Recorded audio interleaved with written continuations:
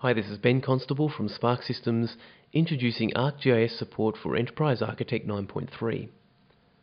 I'll begin by introducing the MDG technology for ArcGIS. That technology includes a UML profile for representing ArcGIS concepts. It gives us a model pattern or template in which we can build up our ArcGIS schema. And it provides new diagram types specifically for visualizing those ArcGIS designs. Using those three capabilities, we'll build a simple model of an ArcGIS schema. We'll model a feature class, a table, and we'll relate those two elements using a relationship class. We'll then expand upon that basic model. We'll include an example of a UML abstract class and some examples of the ArcGIS concept of subtypes. Based on that example, we'll generate an ArcGIS schema for ArcCatalog. So out of Enterprise Architect, we'll export an XML workspace document and import it into ArcCatalog. Finally, we'll reverse engineer an existing ArcGIS schema. Now this can be useful in a couple of scenarios. Firstly, we may have a legacy geodatabase which we need to better understand and therefore visualize before updating. Or our organization may have several geodatabases that simply need to be documented and traceable. By reverse engineering those existing geodatabases into a UML representation, we better facilitate traceability to other analysis and design models. The main operations we perform on an ArcGIS model are available under the Extensions menu under ArcGIS. I can add a model pattern for ArcGIS, import and export a workspace XML document, I can set the coordinate system for my workspace, and adjust certain display properties for the diagrams. We'll begin by adding a new model pattern for ArcGIS. I select the ArcGIS technology and add the ArcGIS workspace. This gives me the template structure in which to build my ArcGIS schema. Notice the package structure that the model pattern has created for us. At the top level we have an ArcGIS workspace. That's a UML package. That contains three sub-packages, one for my feature classes, my domains, and spatial reference elements. It also provides an overview diagram which I'll open now by double-clicking it. The overview diagram provides some guidance on how to build up the rest of my schema by way of its notes, and it also serves as a useful navigation aid as I can double click any of these packages to drill down into them. ArcGIS diagrams such as this are to be used in conjunction with the toolbox. Each item in the toolbox represents a concept in the ArcGIS world. For example, a feature data set is represented as a UML package. That's the case for the features package over in the project browser. Similarly, geometric networks, topologies, and even ArcGIS workspaces are represented as UML package.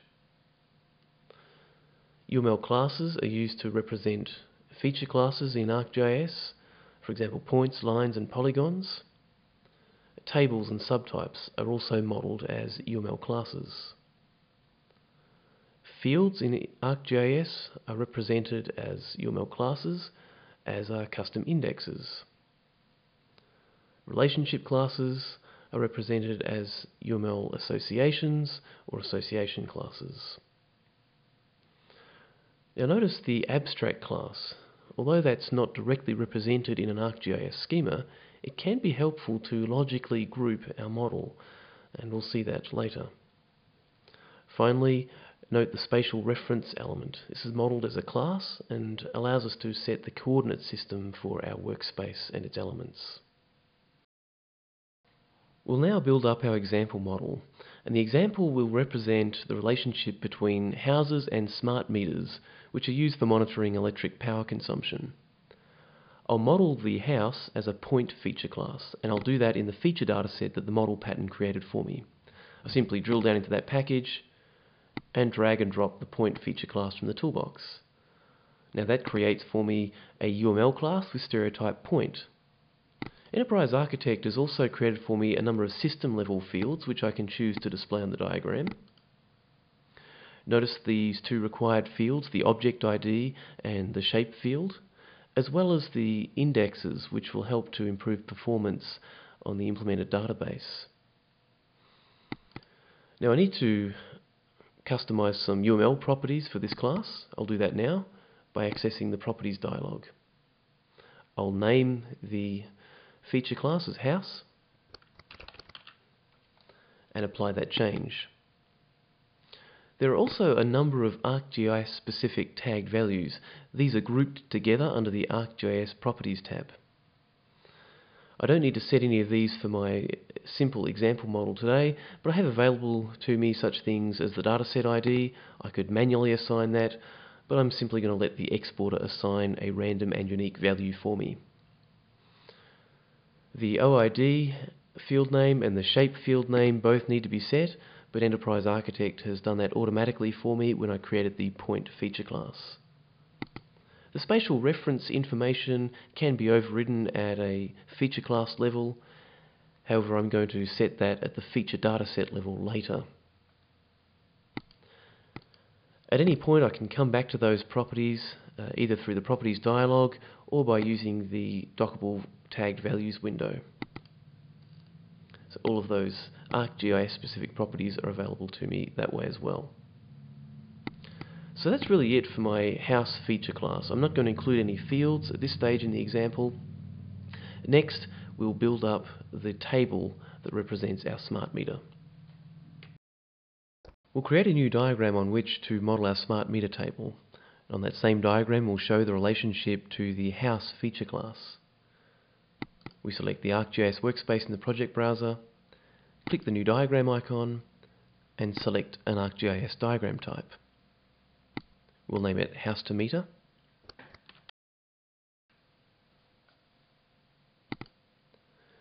And we drag and drop the table or object class from the toolbox onto the diagram. As with the feature class, Enterprise Architect creates a couple of system level fields which we can choose to display on the diagram. Let's edit the properties for our table. We only need set the name at this stage.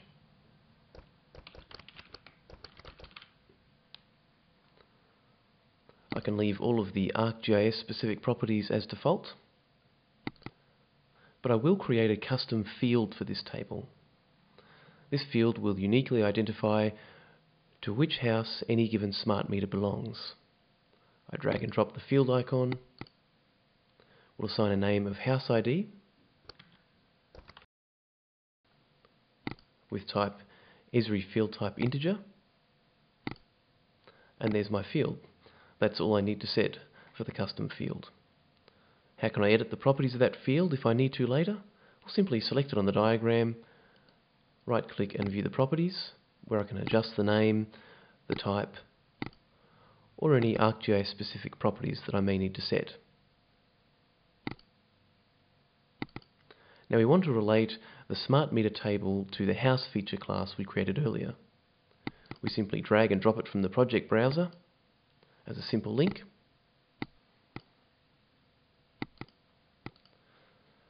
and you'll notice the namespace prefix highlights for us from which package this house element originates. We model the relationship between the house feature class and the smart meter table using a relationship class. And the profile provides two forms of these. For one-to-many relationships, it's a UML association, or for many-to-many -many relationships, we use the UML association class. Ours is a one-to-many relationship. Even without the toolbox displayed, we can use Enterprise Architect's Quick Linker to build up this relationship.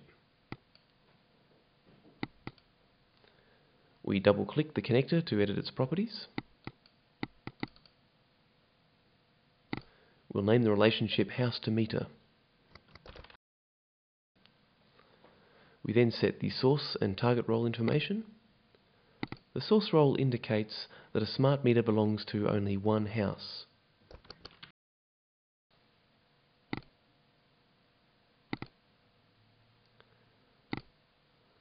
The target role indicates that a house has zero or more smart meters.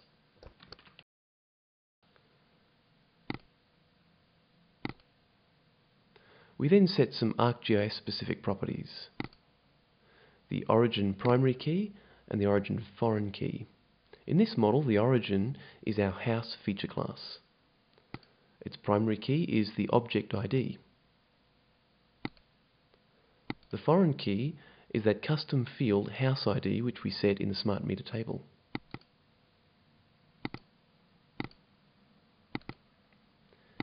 Now if we were modelling a many-to-many -many relationship, we would set the destination primary key and foreign key.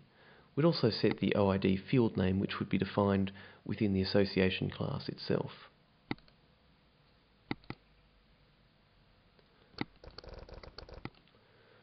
We've now modelled our house feature class, our smart meter table and the relationship between them.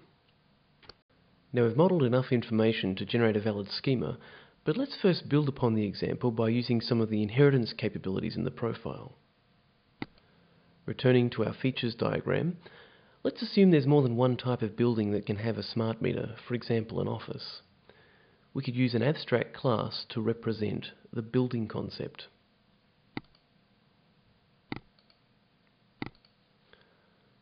We'll name that class building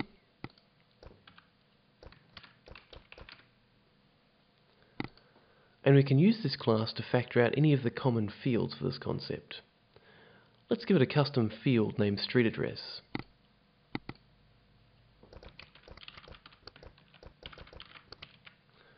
We'll set the type as Esri field type string. Now we simply generalize from the house feature class to the building abstract class.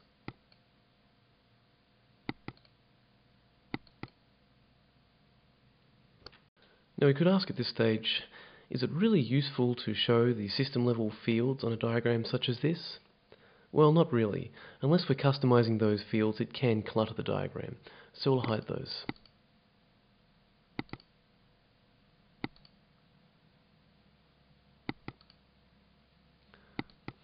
Now let's create our Office feature class.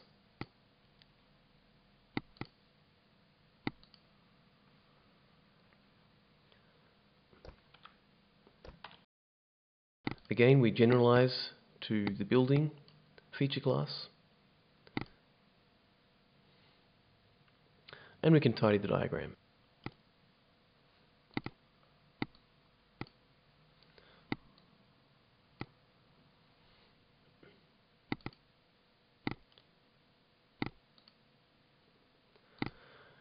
Now we have a simple abstract model that shows that a house and an office are both buildings which inherit the common field street address.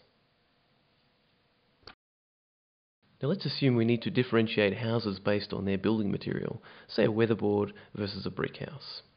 We could use subtypes to do this. Let's create two subtypes now, one for a weatherboard and one for a brick house.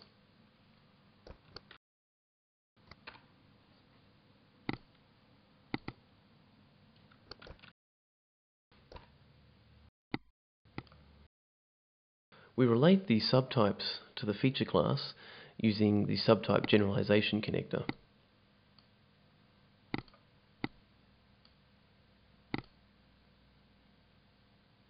Notice that each subtype has a subtype code property. We can set this as a unique identifier of subtypes for a given feature class.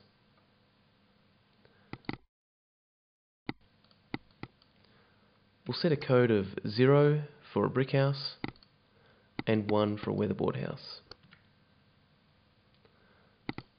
Now in the feature class we can determine which will be the default subtype when we create a new house in the geodatabase. We use the subtype field to do this. We'll name it subtype code.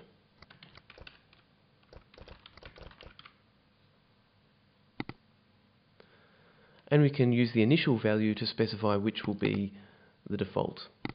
We'll select weatherboard.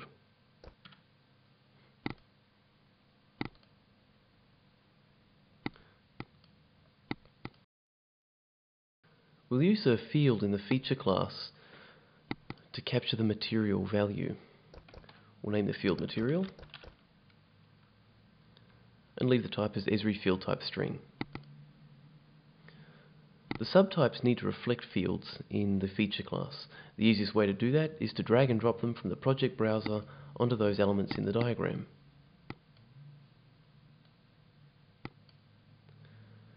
Now we have the opportunity in the subtypes to refine the field type using a coded value domain. We'll create the coded value domain using the toolbox. We'll name it building material.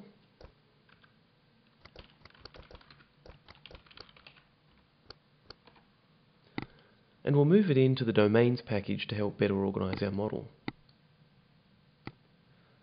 Now we need two coded values, one for brick and one for weatherboard. The first has been created for us here by this template. The coded value is named my code name and the value my coded value. We can adjust this using the Attributes Properties dialog. We'll rename it to brick. And use the initial value field to specify the value. We'll use BR. We'll create the second coded value, again using the toolbox, and this time for the weatherboard.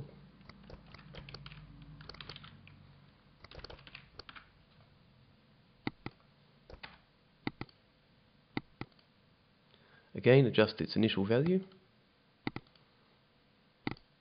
setting a value of WB.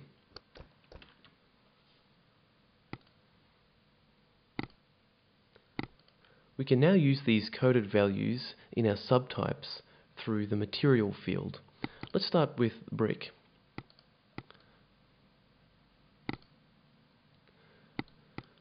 We change the material field type to correspond to the coded value domain building material.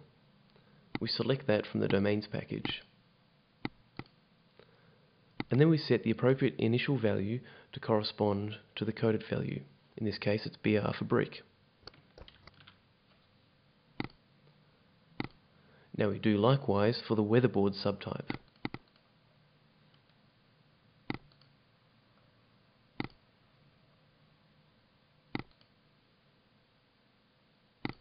Its initial value is WB.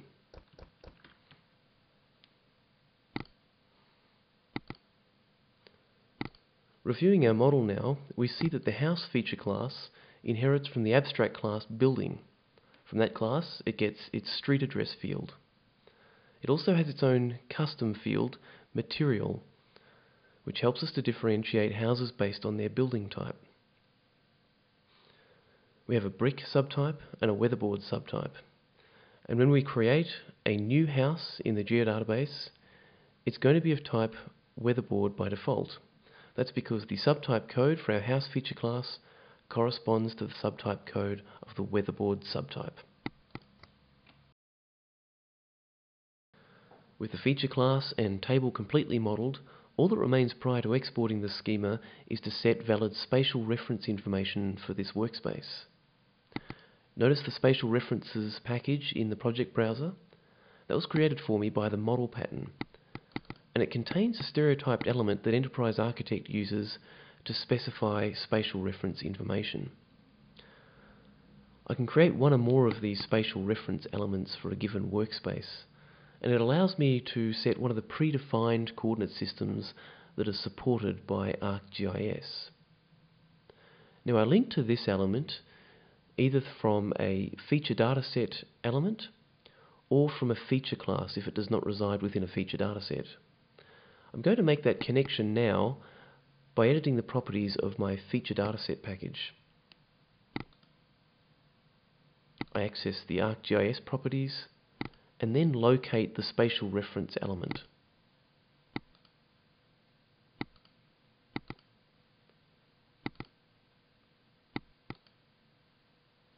Now I need to configure the spatial reference element itself to point to a valid coordinate system. I select it and use the ArcGIS menu to set the coordinate system. I have available to me the geographic and projected coordinate systems that are supported by ArcGIS. I'm going to choose the WGS 1984 coordinate system. Notice that it's associated values are automatically populated for me within the spatial reference element. So now my feature data set points to valid spatial reference information. Now I can update this information if needed to change to a different coordinate system for example. If I do that, again using the ArcGIS menu, any feature dataset or feature class that points to this spatial reference element will have its spatial reference information updated automatically.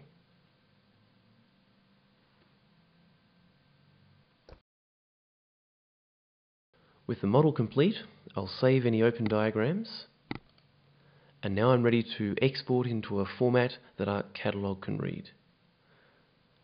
I select my ArcGIS workspace from the project browser, then from the extensions menu choose ArcGIS, export to ArcGIS Workspace XML. Notice that ArcGIS is chosen as the XML type, and I export. I can view the resulting XML document in Enterprise Architect, and see that my domain coded value is included, the building material along with its coded values, and of course my feature class, house, and its associated fields, including those that were inherited from the abstract class. The next step is to import our generated schema into ArcCatalog. I've created a connection to a local folder and under that I'll create a new file geodatabase.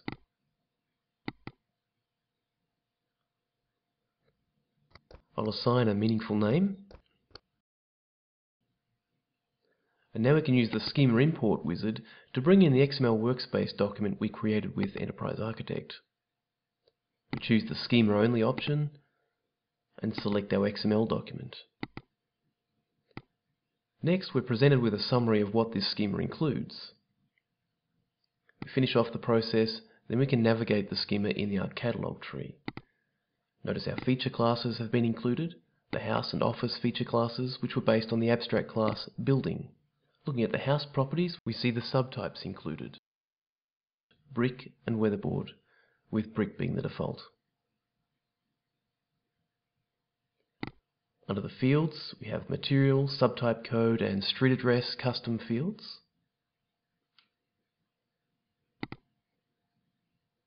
Notice the house to meter relationship class was imported. And let's have a look at the smart meter properties. We see listed the house ID custom field. So that's the basic process for importing our generated schema into ArcCatalog.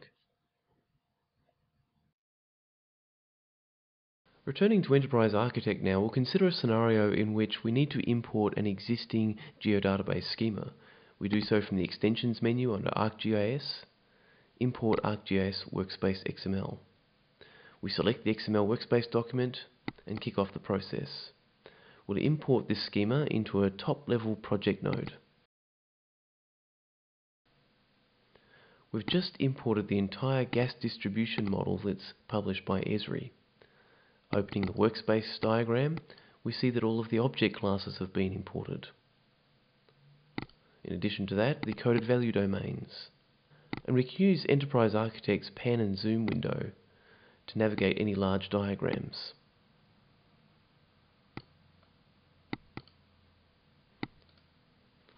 Also notice that the geometric networks have been included.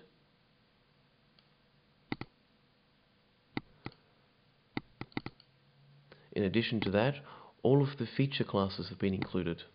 Points, lines, and polygons, as well as their relationship to their various subtypes. So this is an extremely useful way of documenting existing geodatabase schemas. And we can link and trace any of these imported elements to any other Enterprise Architect model elements that we have and by using a standard UML representation we can reach a much wider audience. For example, analysts and architects that are not well versed in geodatabase technology can still grasp the underlying concepts and their relationship to a corporate model. In this introduction we've briefly considered how to model ArcGIS schemas in Enterprise Architect. We looked at the major components of the MDG technology for ArcGIS its UML profile for visually representing ArcGIS elements, the model pattern it provides as a starter structure for our workspace, and we used one of the new ArcGIS diagram types. We built a very simple example model. We related houses to smart meters using a feature class, a table and a relationship class. We then built upon that simple example, including an abstract class and subtypes which used a coded value domain. We then generated our schema to an XML workspace document and imported that into ArcCatalog. Finally, we've reverse engineered an existing geodatabase schema. That meant visually rendering the schema using the standard UML notation and allowing us to reach a much wider audience.